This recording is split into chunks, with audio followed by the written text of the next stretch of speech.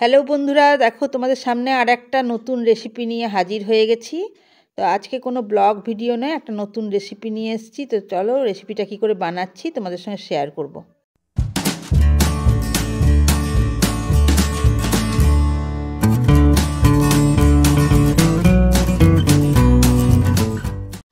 Good afternoon everyone welcome back to my channel আমি জুই। বন্ধুরা, তোমরা কেমন আছো? আশা করি তোমরা খুব খুব ভালো আছো। দেখো দেখো, ছোটো ছোটো আলু নিয়ে নিয়েছি। তো আলুগুলোকে ভালো করে ধুয়ে নিলাম। ধুলোগুলোকে ভালো করে পরিষ্কার করে নিয়েছি, দেখতেই পাচ্ছ। এখন নতুন আলু তো, গায়ে একটু করে দেখো খোসাও লেগে আছে, ভালো করে পরিষ্কার করে নেওয়ার পর আলুগুলোকে গোটা গোটাই দেখো আমি প্রেশার কুকারের মধ্যে দিয়ে দিচ্ছি। প্রেশার কুকারে দিয়ে আমি এইগুলোকে একটু সেদ্ধ করে নেব। তো পরিমাণ মতন জলও দিয়ে দিলাম, তার সঙ্গে অবশ্য অল্প লবণও দিলাম। তোমরা ইচ্ছা করলে লবণটা নাও দিতে পারো, কিন্তু লবণটা দিলে কি হয় বলো তো আলুগুলোর ভেতরে হয়তো একটু লবণ ঢুকে যাবে। এই দেখো প্রেশারে আমি তিন চারটে সিটি দিয়ে দিলাম। তারপর দেখো আলুগুলো বেশ সুন্দর সেদ্ধ হয়ে গেছে। এবারে আলুগুলোকে দেখো আমি হাতের সাহায্যে ছাড়িয়ে নিচ্ছি, কারণ এই আলুগুলো না বটির সাহায্যে ছাড়াতে খুব অসুবিধা হয় বলেই সেদ্ধ করেই একবারে খোসাগুলো ছাড়িয়ে নিচ্ছি। তো চলো সমস্ত খোসাগুলো ছাড়িয়ে নিই আস্তে আস্তে। তো আমরা যেহেতু বাড়িতে দুটো লোক, তাই জন্য অল্প আলু নিয়েই করছি। তোমরা ইচ্ছা করলে বেশি আলু নিয়েও করতে পারো। এটা একটা নিরামিষ পদ। তোমরা একবার করে দেখবে দেখবে রুটি, ভাত, লুচি সব কিছুর সঙ্গেই জমে যাবে। তো আলুগুলো দেখো, খোসা ছাড়িয়ে নিলাম, তারপরে একটা চাকুর সাহায্যে একটু একটু করে গায়ে ফুটো করে দিচ্ছি, যাতে এর মধ্যে না মশলাগুলো ঢুকে যায়। আমি দু টুকরো করছি না, কারণ একেই তো ছোটো আলু, তাই জন্য একটু একটু করে গায়ে দেখো ফুটো করে দিচ্ছি। এতে কি হবে বলতো? মশলাগুলো এতে ঢুকে যাবে। আর একটা মিক্সার জারে দেখো একটা টমেটো নিয়েছি মিডিয়াম সাইজে আর নিয়ে নিয়েছি দেখো তোমার কিছু কাজু বাদাম নিয়েছি। আর নিয়েছি আদার টুকরো কিছুটা আর যেমন ঝাল খাবে, আমি এখানে তিন চারটে কাঁচা লঙ্কা নিয়েছি, তোমরা যেমন ঝাল খাবে, ইচ্ছা করলে তোমরা শুকনো লঙ্কাও নিতে পারো, শুকনো লঙ্কা আমরা খাই না বলে নিই নি। তো দিয়ে দেখো কড়াই চাপিয়ে দিয়েছি কড়াই অবশ্য সর্ষের তেল দিয়ে আমি রান্না করব, খুব অল্প তেলেই অবশ্য রেসিপিটা করব। তোমরা যদি বেশি তেল দিতে চাও, দিতে পারো, কিন্তু আমি অল্প তেলেই করব। তো তেলটা গরম হয়ে গেছে, দেখো জিরে ফোড়ন দিয়ে দিয়েছি। এবার জিরেটা যখন একটু দেখো ফুটে উঠেছে তখন আমি যে আলুগুলোকে ছাড়িয়ে রেখেছিলাম, সেই আলুগুলো দিয়ে দেবো। আলুগুলো দিয়ে দেখো একটু আমি ভাজা ভাজা করে নেব। তো সমস্ত আলুটাই আমি দিয়ে দিলাম। এবারে খুন্তির সাহায্যে দেখো আলু, তেল আর জিরে এগুলোকে ভালো করে মিক্সড করে নিচ্ছি বন্ধুরা।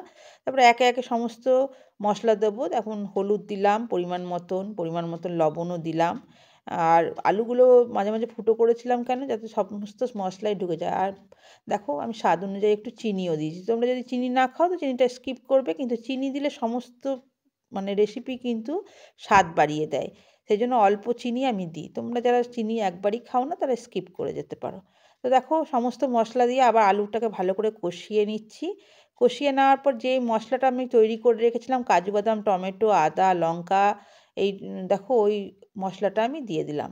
বুঝতে পারছ? এবারে এই মশলাটা দিয়েও আমি এবারে আলুটাকে ভালো করে আমি কষিয়ে নেব। কারণ এই মশলাটা, আমি, এটা তো নিরামিষ পদ, সেই জন্য। আমি পেঁয়াজ, রসুন দিয়ে তো তোমরা অনেক আলুর দম খেয়েছো, কিন্তু একবার এইভাবে আলুর দমটা বানিয়ে দেখো। আশা করি তোমাদের খুব খুব ভালো লাগবে। তো দেখো মশলাটা দিয়ে কষিয়ে নিচ্ছি। আমি যেহেতু কম তেল দিচ্ছি না বন্ধুরা, তার জন্য নিচে লেগে যাওয়ার ভয় থাকতে পারে। তো খুব কম আছেই কিন্তু আলুটাকে ভালো করে কষিয়ে নিতে হবে।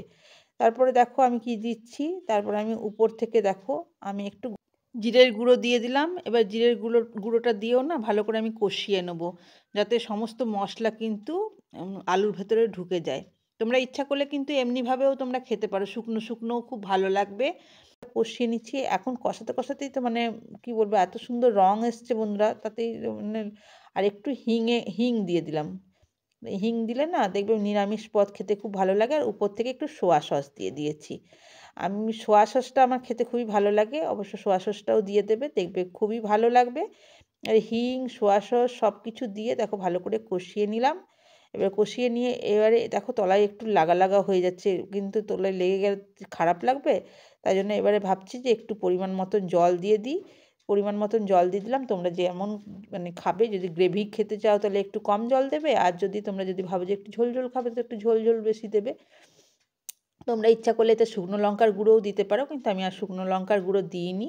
দেখো টমেটো দেওয়ার জন্য রং কিন্তু লাল হয়ে গেছে, আর চিনি আছে তার সঙ্গে। তো এটাকে একটু আমি দেখো ভাপে সেদ্ধ হতে দিলাম। আলুটা কিন্তু সেদ্ধ হয়ে গেছে তবু একটু ভাপে রাখলাম। তো দেখো ঝোলটা অনেকটাই ফুটে, অনেকটা কমে গেছে। তো এবারে দেখো খুব সুন্দর লাগছে। তোমরা যদি ভাবো যে আর একটু ঝোল মারতে চাও, তাহলে ঝোলটাকে মেরে দিতে পারো। আমি এখন যেহেতু শীতকাল, একটু ধনে পাতার কুচি দিয়ে দেখো আমি মানে শেষে গার্নিশিং করে দিলাম। এবার এই ধনে পাতা কুচিটাকেও ধরো ভালো করে মিক্সড করে নেব বন্ধুরা।